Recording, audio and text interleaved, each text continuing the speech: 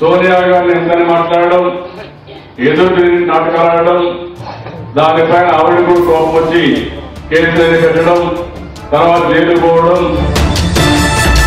నలభై మూడు వేల కోట్లను మీరు అంటున్నారు కదా? దాంట్లో పది వేసాలు భాగం మీరు ఇస్తారేమో చెప్పండి. నా ఆస్తిని ఆడ గవర్నమెంట్ సంతకాలు పెట్టారు రెడీనా?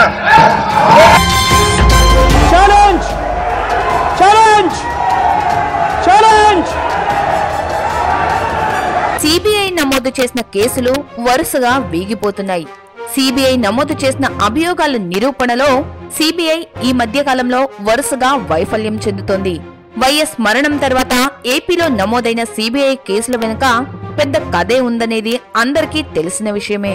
తాజాగా ఎంఆర్ కేసులో అప్పటి ఏపీ ఐఐసి ఎండీగా ఉన్న సీనియర్ ఐఏఎస్ అధికారి ఎల్వి సుబ్రహ్మణ్యంపై సిబిఐ కేసు నమోదు చేసింది. దీనిపై చాలా కాలంగా కోర్టులో వాదోపవాదనలు జరుగుతున్నాయి.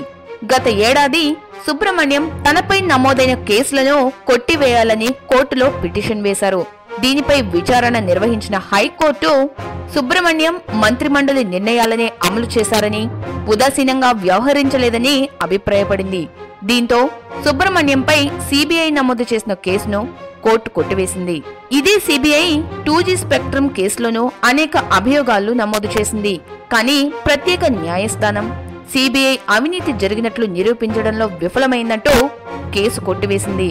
ఇక ఏపీలో రెండు వేల తొమ్మిది తర్వాత జగన్ మీద నమోదైన కేసులకు ప్రధాన కారణమేంటో కూడా ముఖ్యమంత్రి చంద్రబాబై స్వయంగా ఒక సభలో ప్రస్తావించారు.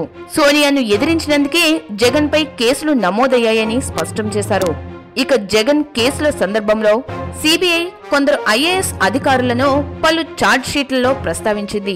అందులో సీనియర్ ఐఏఎస్ అధికారులు రత్నప్రభ శ్యాంబాబు సామ్యూల్ వంటి వారిపై సిబిఐ నమోదు చేసిన కేసును కోర్టు కొట్టివేసింది. అందులో అధికారుల ప్రమేయం లేదని మంత్రి మండలి సిఫార్సుల మేరకే నిర్ణయాలు అమలయ్యాయని అధికారులు కోర్టుకు నివేదించారు.